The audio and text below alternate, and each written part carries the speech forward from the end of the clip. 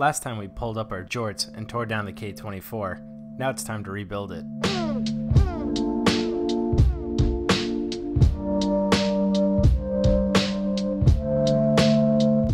After removing the crankshaft, it was sent to a machine shop to be balanced and the bearing journals were micropolished. Before assembling anything, you want to make sure to get rid of any contamination. The first step is to clean the oil passages to make sure there's no buildup left behind. I use small nylon brushes that I ordered online. Then we can clean the bearing journals on the crankshaft. For this I followed the advice of others and used coffee filters since they don't leave behind any lint when using them.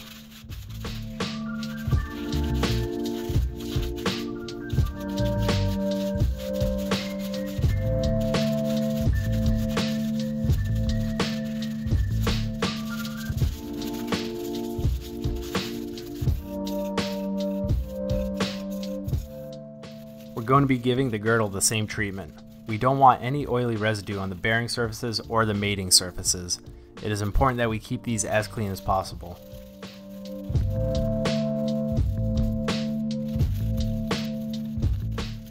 The reason I'm emphasizing the cleaning and showing all of it is because making sure there's no contamination can be the difference between a successful engine build and an engine failing on you when you start it up. When we go to install the bearings, the only thing keeping in place is the friction on the surface between the engine block and the bearing itself. We need to make sure there is nothing that can compromise this, otherwise the bearings will be free to move around contacting other components. The bearings themselves also need to be cleaned. They may be brand new, but the manufacturer puts a rust inhibitor on them to keep any rust from forming when it's in the packaging, and we want to make sure all that is cleaned off before assembly.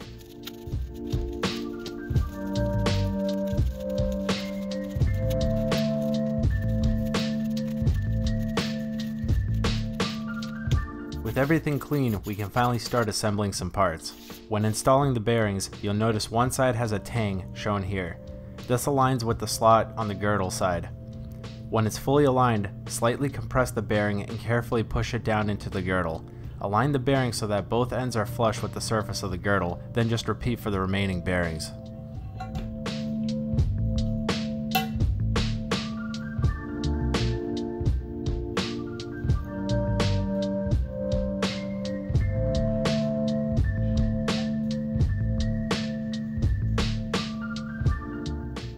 Now it's time to concentrate on the other half, so we get right back into cleaning the engine block.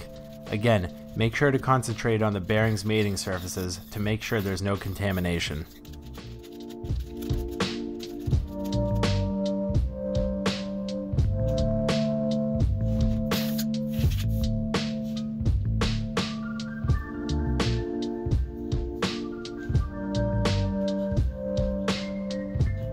Now it's time for more cleaning. This time we're cleaning the mating surface between the girdle and the engine block. We'll be placing Honda Bond here, and to make sure it seals the way it should, we don't want anything compromising the bond between the two surfaces. Now we're finally installing the crankshaft. Sort of. This actually isn't the final install. What we're doing now is using Plastigauge to make sure we have the correct clearances. If we look at our assembly so far, we have the engine block, girdle, and bearings installed. If we go ahead and add the crankshaft, you may expect it to look something like this. But in reality, it's more like this. The crankshaft has a gap around it, and this is usually referred to as your oil clearance. This space is critical because it causes the crankshaft to glide on the oil. If this clearance isn't correct, it would cause metal to metal contact and your engine would grind itself to pieces while running. The way we check this clearance is by using Plastigauge. Plastic gauge is placed on the bearing journal of the crankshaft, then as we torque the girdle down, the Plastigauge is deformed. We then measure the Plastigauge after deformation and that will tell us our oil clearance. Now we can continue placing our crankshaft into the block. Try your best to do this carefully because there's no lubrication in the bearings, so we have direct metal to metal contact so we want to limit movement. Cut pieces of plastic gauge to span the whole width of the bearing journal and place it as close you can to the top of the bearing journal. Be careful not to get too close to the oil passage holes, this could distort our results and give some false readings. Now carefully take the girdle and do your best to align the dowel pins and install it. When everything is aligned you can give a few light taps with a rubber mallet on the outsides to help fully seat the dowel pins.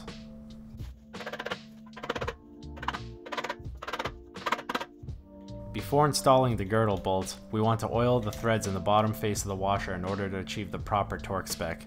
Repeat this for all of the bolts.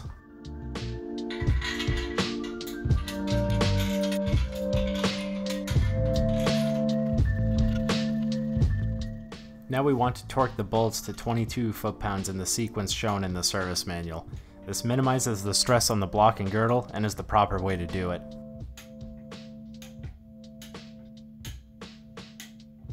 Now in the same order, use a torque angle gauge and turn each bolt an additional 56 degrees. Remember, these torque specs are for this specific K24 motor. You should always reference the service manual for your specific application. Now we continue to tighten the bolts on the outside of the girdle to 16 foot-pounds in the sequence shown.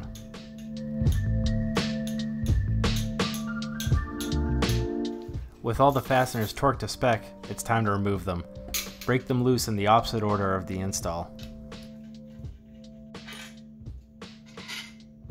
To remove the girdle, carefully pry it in the designated areas. Try your best to minimize movement. Remember, there's no lubrication, so it's all metal to metal contact. Plasti-Gauge comes with an indicator that will tell you your oil clearance based on the deformation of the pieces. All mine fell into the 0.038mm size and did not line up with any of the others, showing that my clearances are within the tolerance. Now we're back to cleaning everything one more time to remove the Plasti-Gauge and to prep it for the final install. Remember to also clean the surface for the thrust bearings.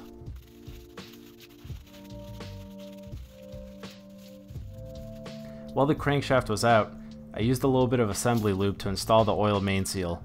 You'll see in a little bit why this may not be the best idea. With the girdle cleaned, lay a small bead of Honda Bond on the engine block mating surface. I'd recommend just using your finger to spread it to get an even coat. Look at examples of how much to put on because in this case you can have too much or too little.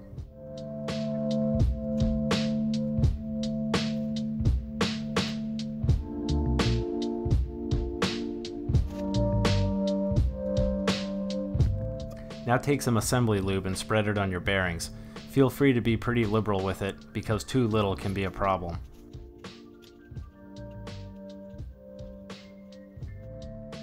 After cleaning your thrust bearings, put some assembly lube on the flat side and install them. There's a designated cutout for them, and the lubrication will actually help hold them in place.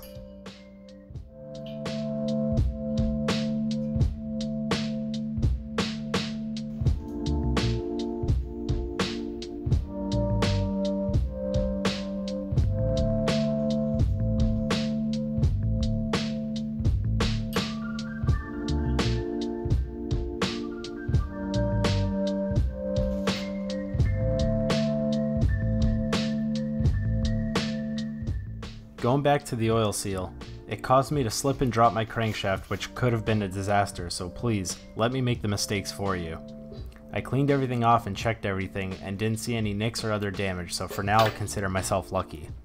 So I installed the crankshaft again without it and installed the seal after the fact.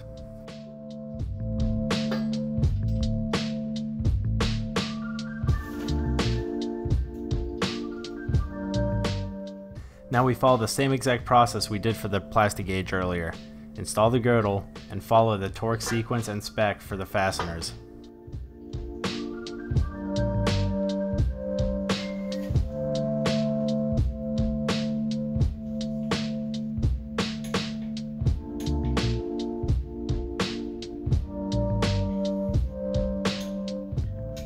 The crankshaft is spinning freely and there's no feeling of binding, the first sign of a heartbeat from the motor.